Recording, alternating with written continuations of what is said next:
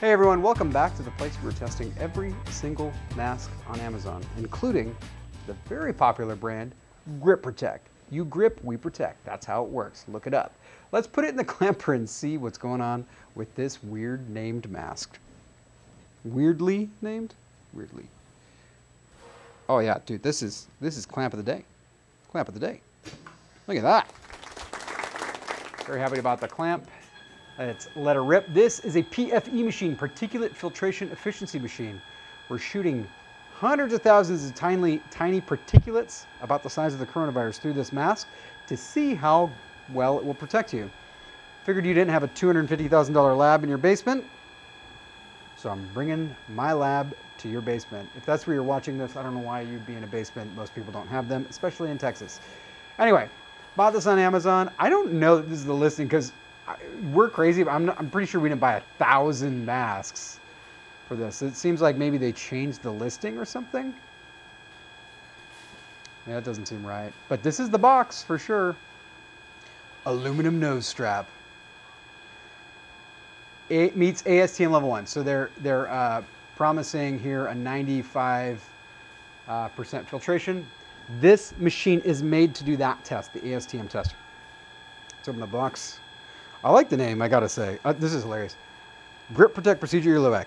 Three levels of protection. Number one, bacterial efficiency. Yeah. Number two, particulate efficiency. Number three, fluid resistance. It's not saying how much it is, it's just saying it has those features. Our particulate filtration of 1%. Let's open this up. Open this up. Oh, that's really good. Why does that always happen? Anytime I say, that's really good, it just breaks. I don't think it's going to break in your face, though. Let me try it, though. Nose wire. Really long ear loops, though.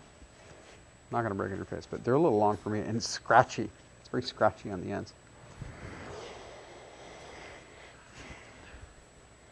There's a very slight plasticky smell. I'm going to call this uh, was in a grocery store bag for too long. The reusable ones, obviously, because. Oh, there's a bug in here. That's neat. Hmm. Gross.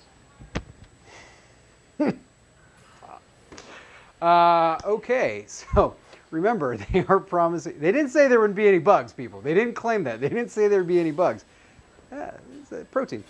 Uh, so remember, they're claiming ASTM level 1, which is exactly what this guy is meant to test.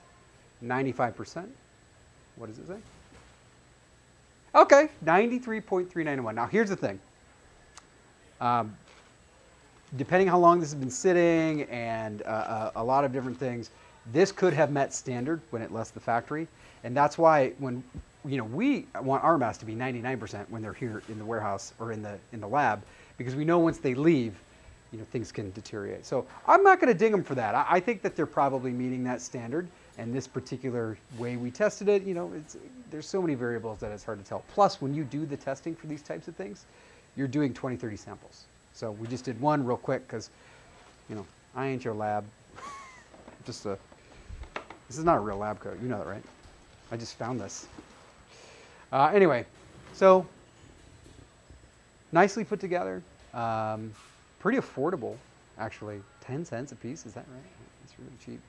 Um, and I made fun of the packaging, but actually I, I, don't mind it. So not a bad product. Just under standards, but I, I think they're pretty good. What was the breathability? 71. 71? Well, it's pretty good as well. All right, guys, thanks so much for watching. Uh, I hope you enjoyed this. You know, you're the best for sticking with me. Honestly, really, really do appreciate you guys.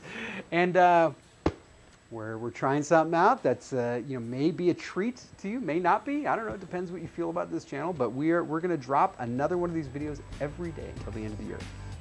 Every day. That's right. So join me every day at 10 a.m. Central, and I will see you at the next time.